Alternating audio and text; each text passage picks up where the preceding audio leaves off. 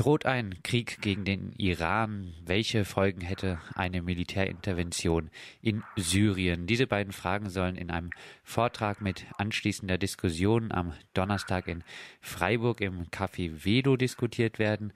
Und referieren wird Tobias Pflüger aus dem Vorstand der Informationsstelle Militarisierung in Tübingen und der Partei Die Linke.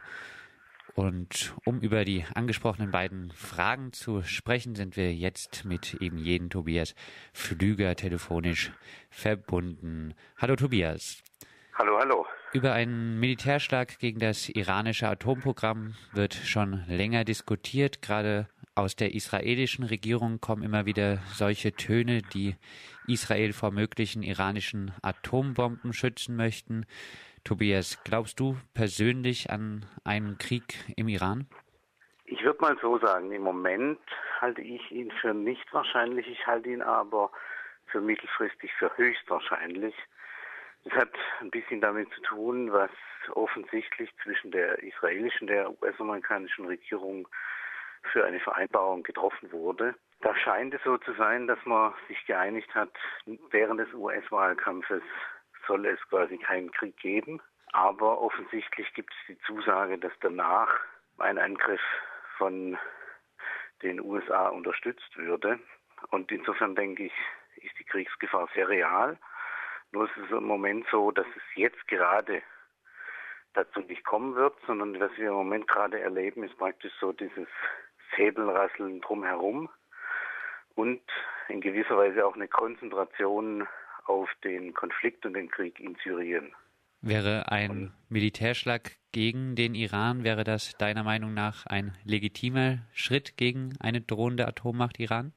Nein, in keinem Fall, weil es ist erstens so, dass die Unterstellungen, die gegenüber dem iranischen Regime im Bereich der Atompolitik im Umlauf sind, in der Form so nicht zutreffen. Es ist nicht so, dass der Iran eine Atombombe hat, sondern der Iran betreibt Uranaufarbeitung und ähm, ist im Moment auch überhaupt nicht an dem Punkt, dass es waffenfähig wäre, sondern wenn es eine nukleare Gefahr in der Region gibt, dann sehe ich persönlich die vor allem im Moment in Pakistan.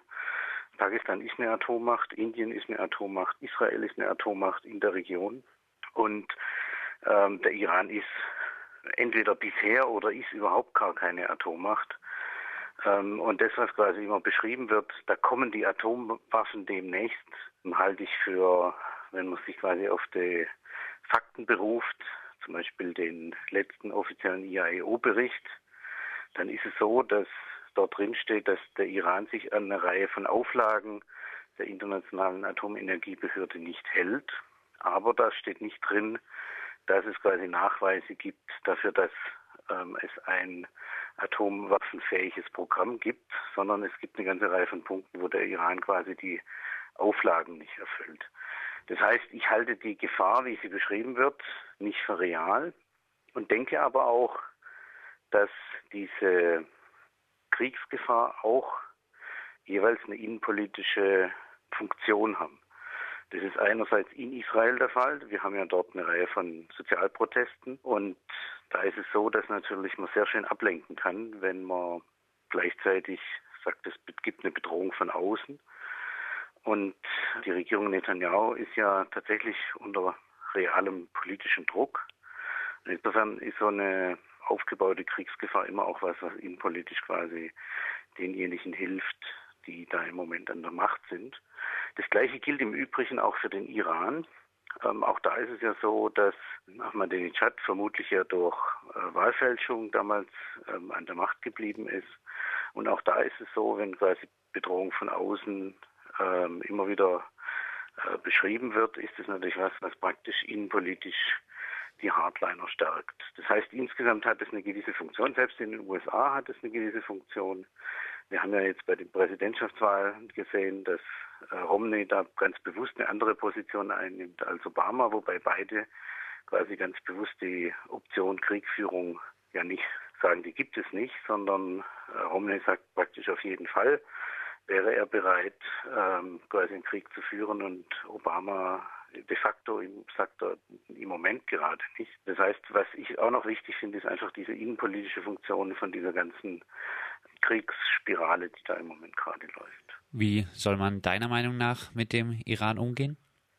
Was ich für sinnvoll erachten würde, ist, dass man tatsächlich diese Zuständigkeit dorthin gibt, wo sie nämlich hingehört, zur Internationalen Atomenergiebehörde, die ich zwar politisch nicht leiden kann, weil sie ja in ihren Prinzipien die Förderung quasi von Atomenergie hat. Gleichzeitig ist es so, dass praktisch rein auf der völkerrechtlichen Ebene das diejenige Institution ist, die dafür zuständig ist.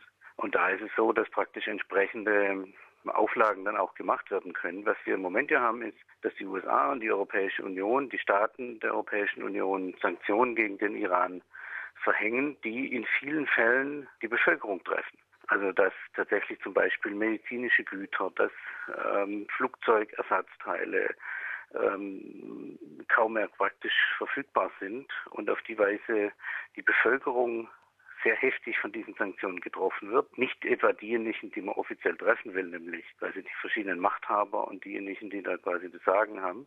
Ähm, insofern sind diese Sanktionen was, die im Grunde kontra kontraproduktiv sind. Was man machen müsste, ist, dass bei der Internationalen Atomenergiebehörde ganz klare Auflagen beschrieben werden. Und äh, da ist es auch so, dass die letzten Berichte, sagen wir mal, die Qualität, wie sie noch unter Al-Baradei waren, so nicht mehr haben, weil da zum Beispiel sehr häufig die Rede ist, dass von Informationen aus Mitgliedstaaten, äh, vermutlich von jeweils Geheimdiensten, sagen, dass quasi die und die Auflagen nicht erfüllt würden. Und ähm, da denke ich, was zum Beispiel notwendig wäre, ist ein politischer Druck, dass der Iran äh, erklärt, es ist verbindlich, dass sie kein ähm, Waffenprogramm betreiben. Leider ist es nach internationalen Richtlinien möglich, dass sie ein sogenanntes ziviles Atomprogramm betreiben. Ähm, das ist praktisch innerhalb des, der IAEO möglich. Ähm, und da kann man auch politisch einen Druck ausüben und nicht eben einen Druck, der dann konkret nur die Bevölkerung oder weitestgehend die Bevölkerung trifft, ähm, sondern äh, wo dann tatsächlich diejenigen politisch unter Druck wären, die dort im Moment die Macht haben.